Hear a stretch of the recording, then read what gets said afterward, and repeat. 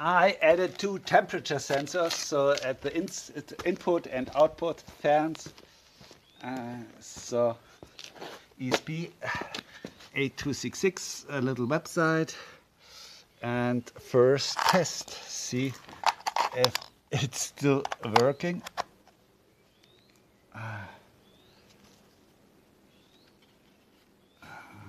So here we got some power. And yes, radiation. So it is working. But today I'm only interested here in the temperature, so let's restart, reload.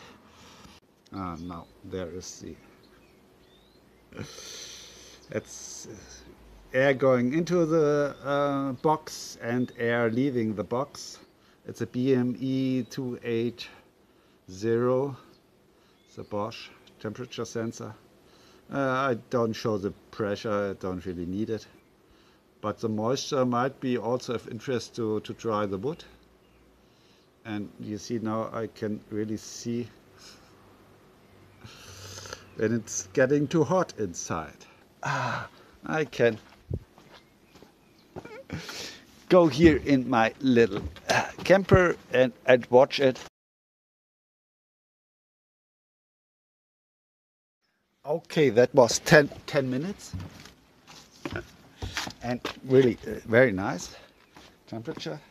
So uh, you see this cable is long enough so if this is going to be seven meters long. Uh, okay, so it's unbox 30 degree you see there's the energy dissipates over the entire volume. But uh, now here with the temperature check I can really uh, now start adding uh, the other two microwaves so that I reach the final 2.1 kilowatt. Now here the transformer you see 77 and here that's 100 so 77 it's already mm, too much for the transformer I, I think. So the air is airflow is not able to cool the transformator. Hmm.